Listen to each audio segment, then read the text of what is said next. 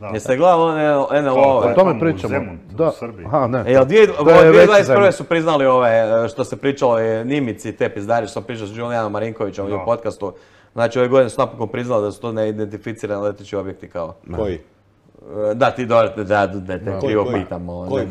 Pa ovi što su letili, znaš, što ih Ja- je snimao ovaj... Ja jednom slijećem u Zemunik tamo, u Zadar slijećem, a ide avion, ide Zagreb, Zadar, Pula, znaš.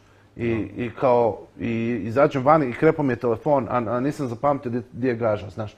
I sad ja ono, je, znaš ono, stojim na aerodromu, ne znam di bi, znaš ono, ne, ne, pali telefon, znaš kada je to bilo, nije bilo, znaš, ne, ne, nisam imao ni pa nema signala, nema Ne, ne, ne, ne, nego davno je bilo, to su bili loši Zvuči mi ko Ono, bađun jebote, nemaš signala, nestalo ti baterije, baš u E, trenutku je kako, prošao e, ono, aligator negdje. Baš je krenuo Da, da. snimiti.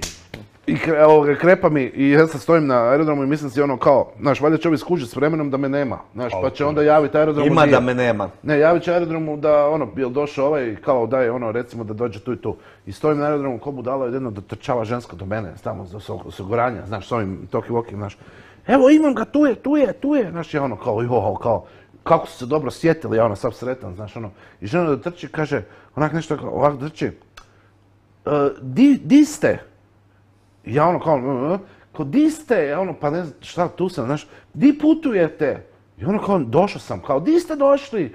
I ono, pa u Zadar, nije on, nije on. Jer kao Zadar ide, e, avion ide Zagreb, Zadar, Pula, ekipa je zašla, brila je u Puli. O, Nekakvi- vanzemaljci, Nekakvi a, stranci su izašli vani, bauljaju Nisu po... u Beograd sletili. Ne, ne, ne, Da, van, vanzemljaci, vanzemljaci. Da, da, da.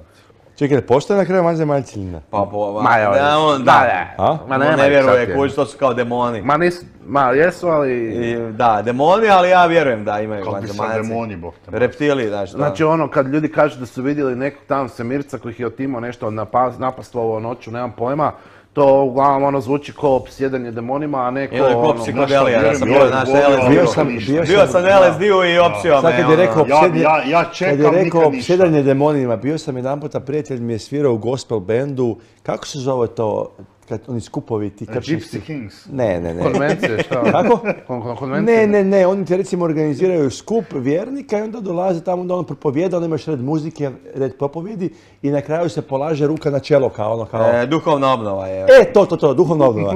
Sad slušaj ovo. Sad na kraju, a ja, ja iskreno ne vjerujem u, u, u to. U Boga. Da, u Boga ne vjerujem. Vjerujem u pri, majku prirodu, fizičke Ok. zakone, da. Majku, Ok. Ja vjerujem vjerujem u oca prirodnjaka. Da. E, Da, slušaj, ne, i sad, sad svi ono stanu u red, sad svi stanu u red i sad oni polažu ruke nešto i sad ne znam se neko srušio ili nije. I sad ja onak vidim, gledam, ovaj moj friend stane iza mene da će me podržati ako ja padnem.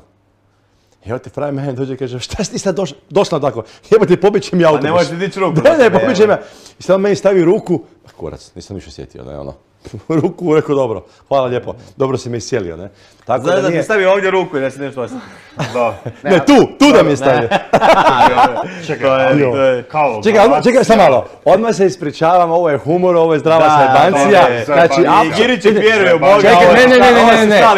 Apsolutno da. poštujem ljude koji vjeruju i drago mi je ako poštuju i nas koji ne vjerujemo. Ja uvijek kažem da sam možda u pravu, Tako možda I u nisam. vinu, Nešto što ne možemo kostilu. Dokazati, nisam siguran. Ja sve to Znači, možda sam ja u vjerujem,